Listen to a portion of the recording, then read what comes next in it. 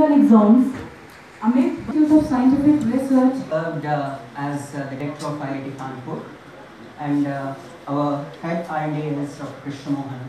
Uh, and uh, basically like any Tata and Birlas, ours is a philanthropic institute. Uh, and the current chairman of uh, Birla, Birla